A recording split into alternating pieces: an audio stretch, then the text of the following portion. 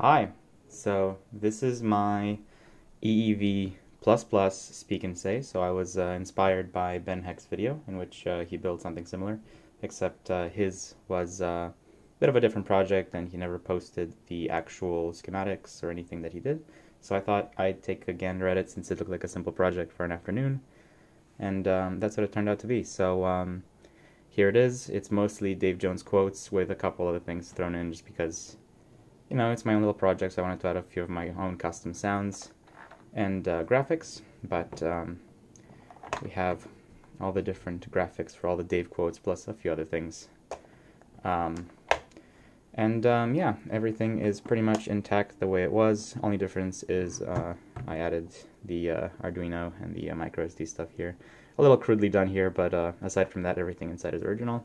I rewired the keyboard matrix, and um, all the files, including the sizing and the Photoshop files and everything, can be found on my GitHub, and there's a write-up on my website about this.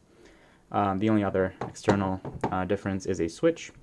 This does use the original batteries. So there are about uh, 327 sounds that this thing can make, depending on what you put. So there's as many as 50 uh, vocalizations for every one of these uh, things that Dave says. So let's turn it on, and what we'll see is that uh, the module will start up, and the thing will say, let's go. Let's uh, get this started.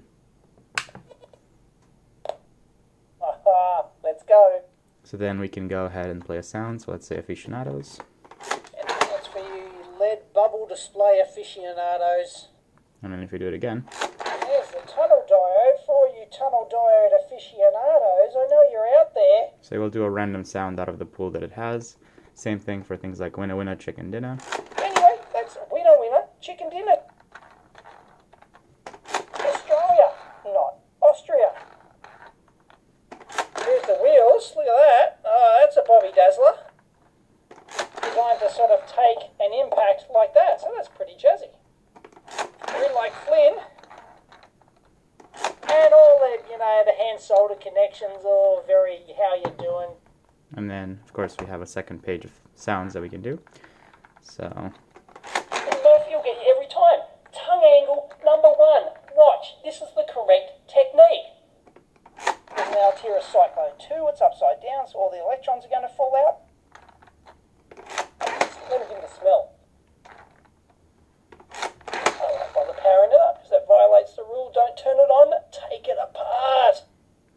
And um, there's a few other things that are not Dave. So these three things, it's uh, um, these two are from Purdue and around things, and this is Wendell from Level1Techs. So that's his Kaby Lake Chips uh, little song.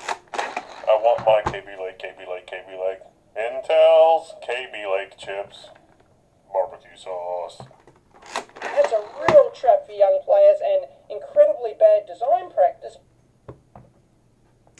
So anyway, I hope you've enjoyed this. It's been a fun little project. If you want to make your own, I very much encourage you to do so. Um, but yeah, it works perfectly. It's a lot of fun, and uh, you know, I think it's quite uh. Oh, that just you know matches up to that. That's really jazzy. Well put, Dave. Thanks.